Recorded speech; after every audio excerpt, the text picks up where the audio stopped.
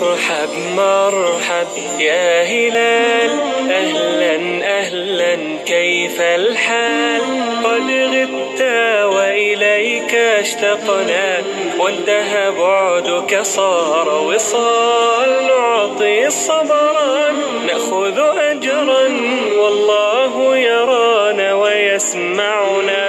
نغفر ذلا نوصل أهلا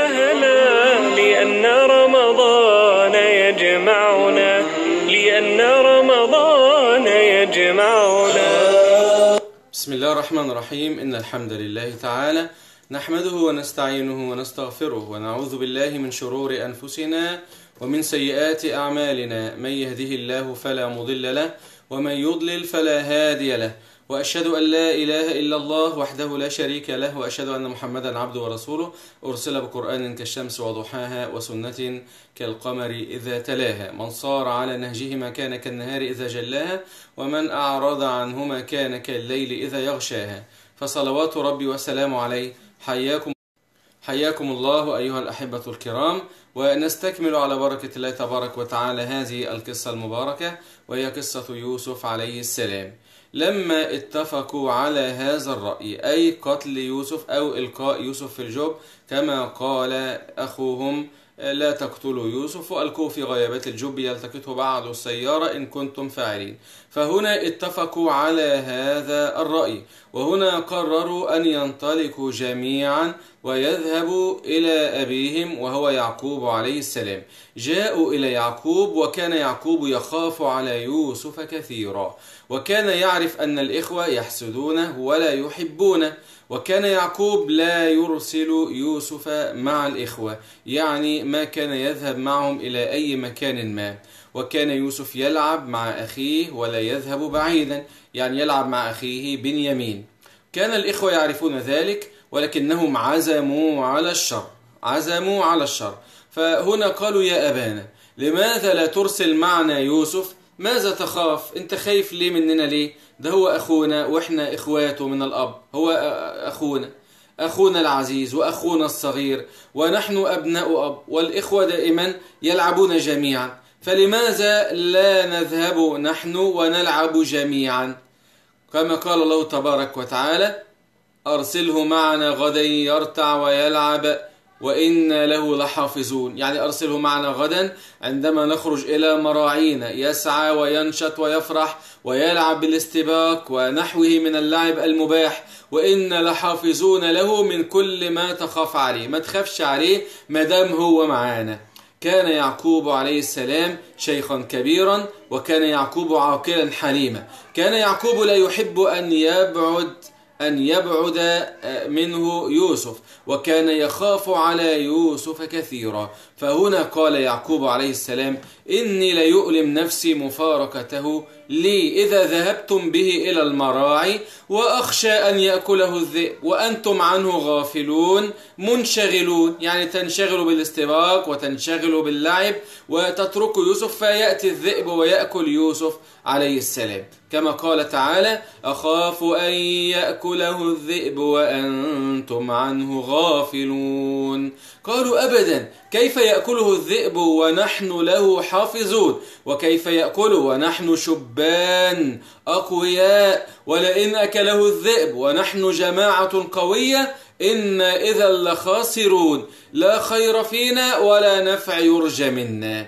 فهنا سعوا بكل أسلوب إلى إقناع يعقوب عليه السلام أن يرسل معهم من أخاهم يوسف عليه السلام. كما حكى الله تبارك وتعالى في هذه الآيات قال جل وعلا قالوا يا أبانا ما لك لا تأمنا على يوسف وإنا له لناصحون. أرسله معنا غدا يرتع ويلعب وإنا له لحافظون. قال إني ليحزنني أن تذهبوا به.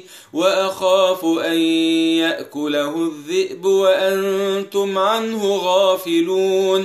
قالوا لئن أكله الذئب ونحن عصبة إنا إذا لخاسرون. إذا أيها الأحبة كانت هي فقرة اليوم ومشهد اليوم من قصة يوسف عليه السلام. ذهاب هذا الوفد ذهاب الإخوة جميعا والمحاولة بكل أسلوب أن يقنعوا يعقوب عليه السلام. هناك وقفات أيها الأحبة مع هذا المشهد من القصة. الوقفة الأولى أهل المعاصي يشجع بعضهم بعضا على المعصية في البداية. أهل المعصية يشجع بعضهم بعضا على المعصية ويكون هذا دائما في البداية. وبمعاونة الشيطان فهو المحرك الأساسي لهم بأفكاره الخبيثة.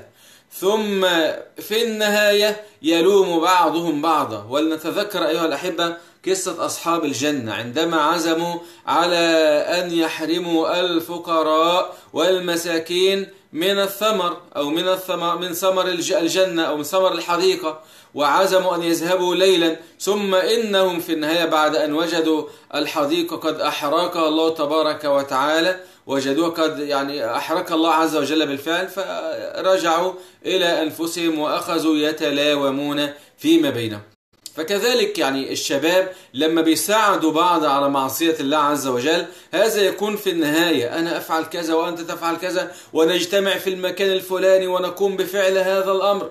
آه والشيطان بيساعدهم على كده ويزين لهم المعصية. ثم إنهم في النهاية إذا قبض عليهم تجد هذا يتهم هذا وهذا يتهم هذا أنت السبب أنت اللي جبتنا هنا أنت اللي صاحب الفكرة الخبيثة وهكذا.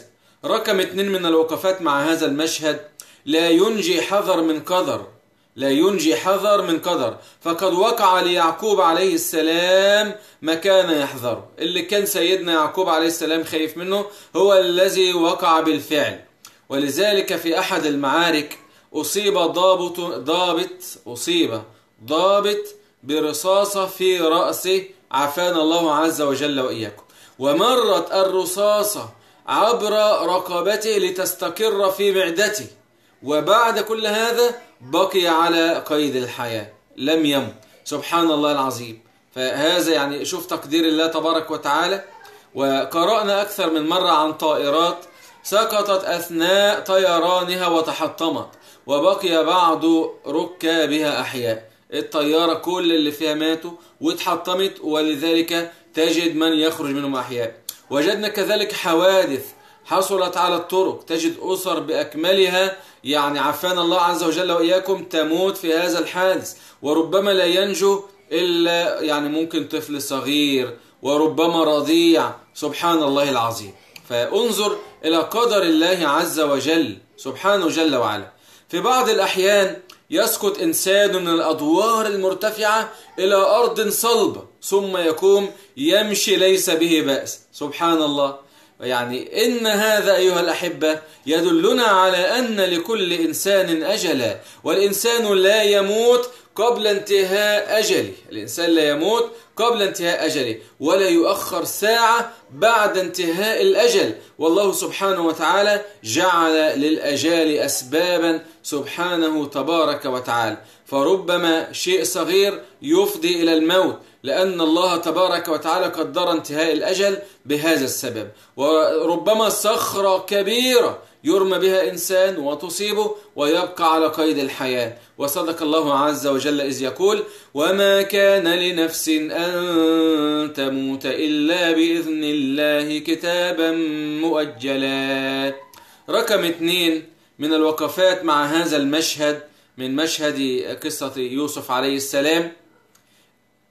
هذه الوقفة أيها الأحبة نقول سكرة المعصية تخرج الإنسان من إنسانيته.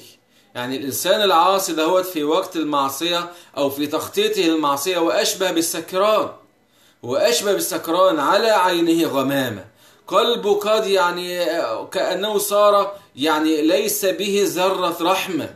عندما ينوي قتل أو ينمي أو ينوي سرقة مال عام مثلا ليس هو مال المسلمين عامة وهكذا فكأنه صار في سكرة بالفعل فسكرة المعصية تخرج الإنسان من إنسانيته.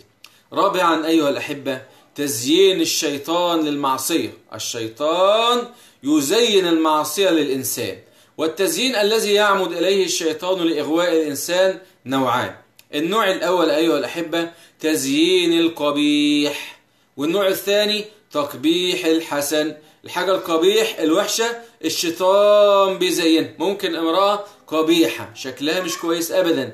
تجد هذا الشيطان إذا خرجت من بيتها يجعلها جميلة في أعين الإيه؟ في أعين الناظرين. فهذه قبيحة مثلا. الثاني تقبيح الحسن. بالنسبة لتزيين القبيح يعني يقول الله تبارك وتعالى وإذ زين لهم الشيطان أعمالهم وقال لا غالب لكم اليوم. هذا في قصة إيه يا جماعة؟ في غزوة إيه؟ أه؟ غزوة إيه؟ غزوة بدر تقريبا. وقال لا غالب لكم اليوم من الناس وإني جار لكم. الشيطان قعد يمنيهم ويساعدهم وأنا معاكم. وتقريبا والله أعلم كنت قرأت في التفسير أنه ظهر في سورة سراقة بن مالك وقوله تبارك وتعالى كذلك عن تزيين الشيطان وزين لهم الشيطان أعمالهم فصدهم عن السبيل. فإذا رأى الإنسان قد وقع في معصية زينها وحسنها وأوجد لها من أدوات التحسين ما يشجع العاصي على الإصرار على معاودتها وذلك بإظهار منافعها وإخفاء مغباتها وحصار وحصاراتها فتجد هذا الشيطان يحسن جمع المال والحرص عليه من الحرام ويظهر لصاحبه أنه الحكيم في تصرف أنت ما بتعملش حاجة غلط. وسبحان الله ولا يزال به حتى يوقعه في الشح والغش والخداع. وكل ذلك بتصوير هذه المعصية على أنها من الذكاء والفطنة على أنها من الذكاء والفطنة والحنكة والعقل. ولذلك نتذكر سويا أيها الأحبة قارون عندما خرج على قومه في زينته. قارون عندما خرج على قومه في زينته. آه ماذا قال؟ قال إنما أوتيته على علم عندي. نسب كل ده لإيه؟ لنفسه هو. اللي أنتوا شايفيني أنا في ده ده على علم عندي كل هذا يعني بسبب فطنتي وذكائي وهكذا. فالشيطان يزين للإنسان الإيه؟ المعصية. أما تقبيح الحسن الشيطان يقبح الحسن يقبح الشيء الجميل. يعمد الشيطان إلى صرف الإنسان عن الفرائض والواجبات. فإن لم يظفر بذلك عمد إلى صرفه عن المستحبات وفضائل الأعمال. وأشد ما يحرص الشيطان على فعله في هذا الباب في هذا الباب تفويت الصلاة على العبد. أخبر النبي صلى الله عليه وسلم قال صلى الله عليه وسلم صلوا عليه. يقول يعقد الشيطان على رأس أحدكم ثلاث عقد إذا نام الإنسان كده لما يجي ينام الشيطان يعقد على إيه على رأسه ثلاث عقد كده. عقد شيطانية. وما أدراك ما العقد الشيطانية. فإذا استيقظ ثم الشيطان يعني بكل عقدة يضرب ويقول عليك ليلا طويلا. فإذا استيقظ أول كده ما تفتح عينك وتصحى من النوم. فإذا استيقظ فذكر الله عز وجل انحلت عقدة. وإذا توضأ يبدأ كده يتوضأ انحلت العقدة الثانية. فإذا صلى انحلت العقد جميعا. فأصبح نشيطا. طيب النفس وإلا أصبح خبيث النفس كسلان. فإذا أيها الأحبة هذه وقفة مع هذا المشهد من القصة أن الشيطان يزين المعصية لبني الإنسان يزين القبيح ويقبح الإيه؟ ويقبح الحسن. ولنعلم كذلك أيها الأحبة أن الشيطان يزين الإنسان المعصية ويتدرج معه كما في قصة من؟ برصيصة العابد كان عابد من بني إسرائيل. في وردت هذه في تفسير قوله تبارك وتعالى من سورة الحشر كمثل الشيطان إذ قال للإنسان اكفر. فلما كفر قال إني بريء منه إني أخاف الله رب العالمين. إيه حكاية القصة ديت؟ قال ابن جرير وابن كثير هذه الآية نزلت في عابد من عباد بني إسرائيل اسمه برصيص أو برصيصة بالألف أو بدون الألف. كان عابدا من العباد الكبار. سكن صومعة لعبادة الله عز وجل. ولكن غلبت عبادته على علمه. غلبت عبادته على إيه؟ على علمه. ما عندوش علم علم قليل. لكنه عابد الله عز وجل. والعالم أشد على الشيطان من ألف عابد. فلما عبد الله وسجد لله عز وجل وأكثر من ذكر الله أراد الله تبارك وتعالى أن يبتلي إيمانه وأن يمتحن يقينه. قال الله تبارك وتعالى أحسب الناس أن يتركوا أن يقولوا آمنا وهم لا يفتنون. فجلس في صومعته.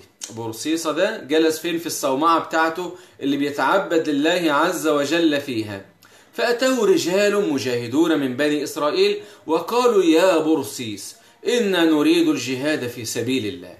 وعندنا أخت لنا أخت هي في بيتنا بجانب صومعتك. وليس لها بعد الله إلا أنت فعليك أن ترعاها حتى نعود من الجهاد. هتخليها عندك ورعاها وهي أمانة معاك لحد ما نرجع منين؟ من الجهاد. قال حبا وكرام ظن أنه شيء خير. فخرج هؤلاء إلى الجهاد في سبيل الله عز وجل.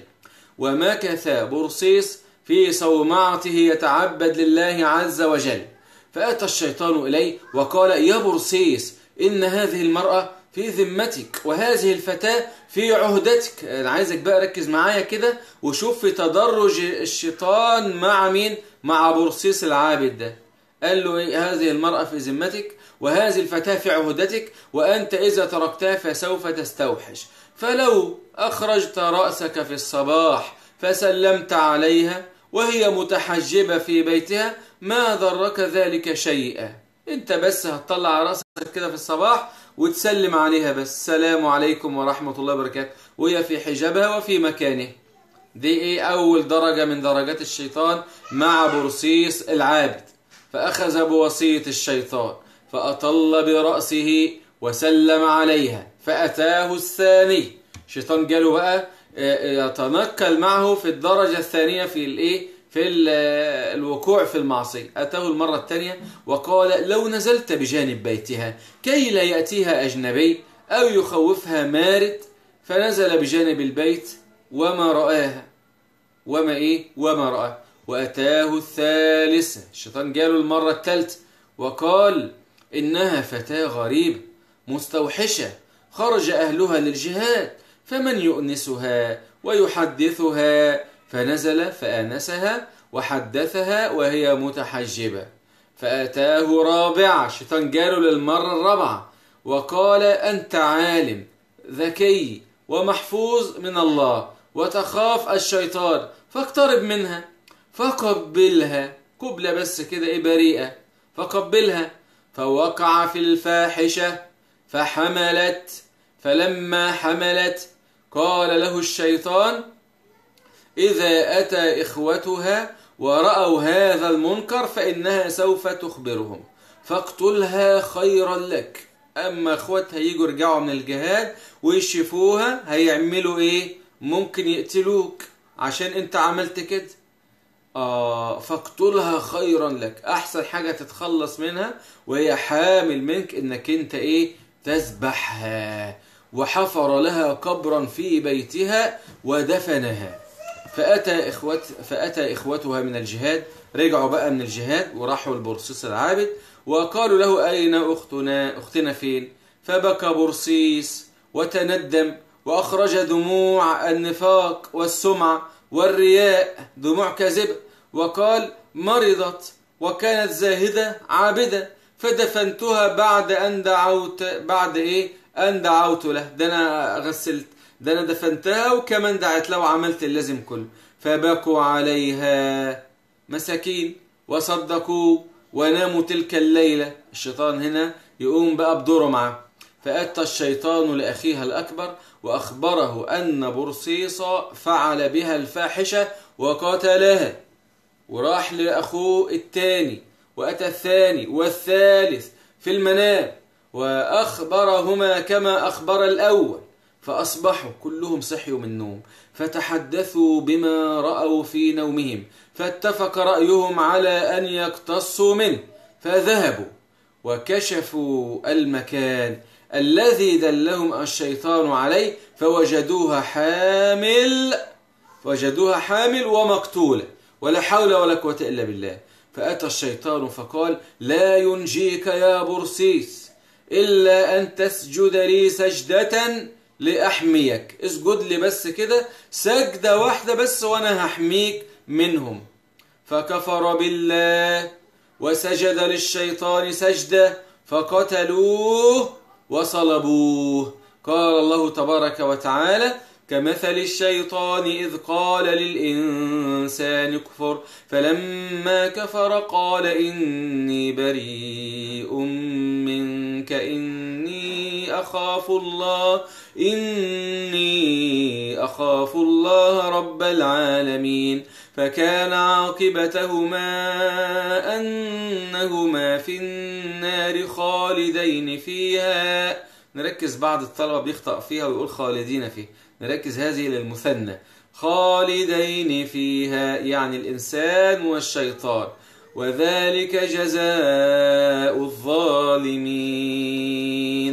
إذا أيها الأحبة الكرام كانت هذه أو كان هذا المشهد من قصة يوسف عليه السلام. نسأل الله تبارك وتعالى أن ينفعنا وإياكم بهذه القصة المباركة وأن ينفعنا الله تبارك وتعالى بهذه الكلمات الطيبة في هذا الوقت المبارك وقت السحر وقت الاستغفار. قال الله تبارك وتعالى والمستغفرين بالإسحار ولعلنا نختم بدعاء سيد الاستغفار. اللهم أنت ربنا لا إله إلا أنت. خلقتنا ونحن عبيدك ونحن على عهدك ووعدك ما استطعنا. نعوذ بك من شر ما صنعنا. نبوء لك بنعمتك علينا ونبوء بذنوبنا. فاغفر لنا فإنه لا يغفر الذنوب إلا أنت.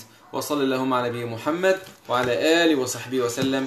سبحان ربك رب العزة عما يصفون وسلام على المرسلين والحمد لله رب العالمين. دمتم في أمان الله ونلقاكم على خير إن شاء الله تبارك وتعالى. لأن رمضان يجمعنا لأن رمضان يجمعنا.